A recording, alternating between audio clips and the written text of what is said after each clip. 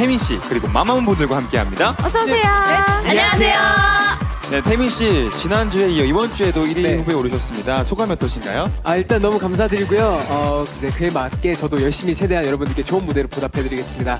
네, 제 옆에 있는 마마무 요즘 많은 사랑 받고 있어요. 1위 후보에 오른 소감 부탁드릴게요. 네, 일단 너무 기쁘고요. 어, 진짜 많은 분들께 감사드립니다. 네.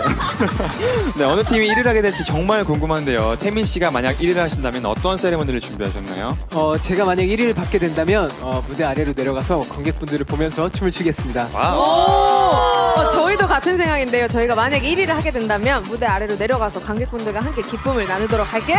wow. 네, 과연 어느 팀의 1위 세레머니를 보일 수 있을지 기대 많이 해주시고요. 네, 반짝반짝 빛나는 태민 씨와 시선 강탈하는 마마무의 무대는 조금만 기다려! 주시고요. 그럼 그 전에 매력적인 저음 voice의 정준영 씨의 무대부터 만나볼까요? music 큐!